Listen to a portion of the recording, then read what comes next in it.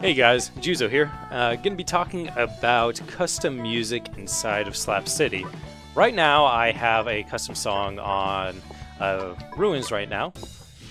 So it's pretty easy to change the music in the game, and it's you do need quite a few tools, and there's some good tutorials. There will be a link in the description on the tutorial for this. So I'm just gonna go over how to go through, how to go through and make your custom music. So, first off, the tutorial is on Game Banana. It was made by Cinnaminion, so I'd really recommend you go through that and read through it. It's detailed. It's got all the files that you will be needing inside of this. And so let's let's start from the beginning on this. So first, the first thing you're going to need to do is get a BRSTM file and that's the simplest way to do it. So I'd recommend going to smashcustommusic.com uh, and then find some music that you want to do. So in my case, I've got I've already got a song on here that I'm going to be using, and it's just going to be for the main menu. And then the rest of the files are included inside of the Slap City modding tools that are available. So let's go to the first step. So you've got your BRSTM. So first thing you're going to need to do is open Brawlbox. This is included in the files. So you'll be wanting to go into Brawlbox and then open up the BRSTRM file. So once you do that, you'll be wanting to make sure to note two things in here. So the first off, the first thing you need to get is the loop start sample right here and the number sample is right there. That's a little bit too thick but the number sample is right down down there. So these two numbers are what you need to save. The rest of it you can kind of just forget about. So next, after you've got those two numbers, you're going to do an export, and you're going to be saving this as a WAV file. Let's get rid of those. So you've got these two numbers, you've made your WAV file. Next, you're going to be going into uh, Wavosaur, and you're going to be opening up that WAV file, the WAV file you just made. After that, you're going to be going into tools and then create loop points. And then the next step is you go into tools again and hit properties. So now those two numbers that you had are what are going to be determining here. So so this one is uh, 673,792 for the start. And then the num samples should be one higher than the endpoint. If it's not, then you may want to try to re-import the BRCRM file and start over again. So now we have this part saved. So let's see. So we'll be saving that. I believe it was that one. Sorry.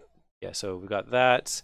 We save it, and next we're going to be opening the file that we just made and we're going to be opening it inside of fmod designer now you're going to be making a new project call it something you know and put it in somewhere in your documents or somewhere you're going to remember so this one i'm calling menu and the first thing you do is you see these events you're going to want to get rid of this first event so it's not you're uh, no you're going to be expanding and then get rid of the event uh, zero zero my my apologies after that, you are going to be adding a simple event and you're going to call it null or anything. The name really does not matter. Next, you go make sure that this looping is selected and then hit new wavetable and select the file that you put in there. So we've got our file. We're going to be hitting OK. And now we go to bank and we're going to be clicking on this bank again and hit build. And then you're going to hit build one more time. So as you saw, it built a file right here for the uh, menu bank 00. So the next thing you're going to be needing to do is you're going to be going into Unity EX. This is included in the Brawl in the modding tools, and you'll be opening an archive in Unity. So you'll need to go to your Steam folder and get the full directory and find the slap city underscore data folder, and you'll be opening this resources.assets. After that, you'll be searching for slapcity.snd or for blobbers.snd. And when you do that, you'll be hitting export selected and then export with convert.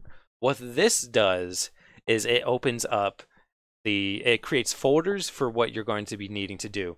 So we, it creates this Unity assets files, resources, and then sounds. and then it creates this uh, res uh, resource dot resource. So inside of here is where you will actually be placing the file that you just made. So we just made this menu bank.fsb. So we'll be copying it and putting it in here, but we need to rename it as well. So on the game banana, we have the name of all of these. So we'll be changing the menu. So it's just going to be slap city snd.fsb. So we'll be changing that and you'll want to make sure to get the that all correct. So oh, let me get rid of this one and then rename it again. So so now we actually have all the files that we need. So the the last thing that we need to do is we just import all files and then we should just be able to open up Slap City. We should have new music, unless I did something wrong.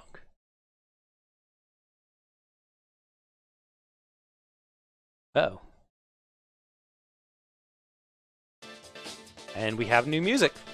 So that's pretty much everything for how you can put in the music. Another thing you'll be wanting to do that I, that I neglected to mention earlier is included with the downloads is an assembly-c sharp uh, file. You'll be wanting to download that. They'll be updated for each patch and you'll be need to download that and then rename it, get rid of the dash V0989. You'll be copying and pasting that into the Steam folder as well. So you'll be going to the Slap City data again, go into managed, and then you'll just be placing it in there and then you replace the current assembly file. What this one does is it makes it loop properly. But that's everything. It's pretty simple. It's got a lot of steps, but once you figure it out, it gets simple and you'll be all right.